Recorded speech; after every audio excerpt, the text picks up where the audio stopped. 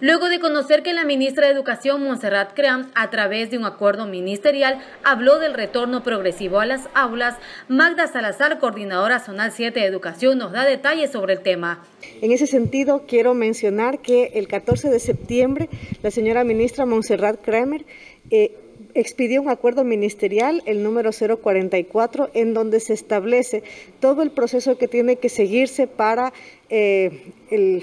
la fase de continuidad educativa, así le llamamos, continuidad educativa, uso progresivo de las instalaciones educativas. Otra de la información que dio es sobre la necesidad que tienen las familias al no poder guiar a los chicos en las tareas asignadas, lo que preocupa que ellos dejen de estudiar. Cabe indicar que por ello se está definiendo el regreso acorde a la realidad de cada institución.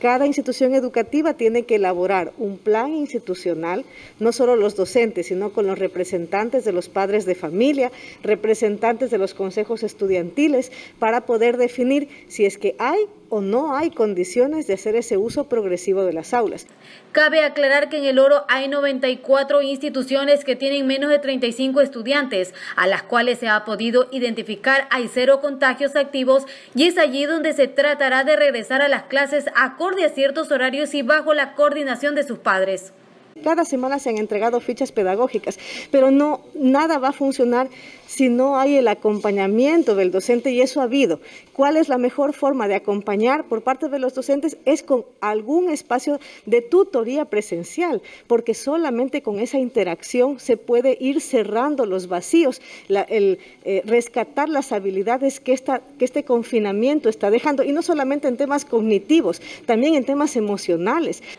La autoridad aclaró a la comunidad educativa y a la ciudadanía en general que no deben alarmarse ante esta decisión, pues la misma solo se efectuará del retorno a las aulas si los padres de familia así lo disponen y cumpliendo un sinnúmero de protocolos como un plan que es elaborado por el director de las instituciones educativas. Marta Contento, TV Oro Noticias.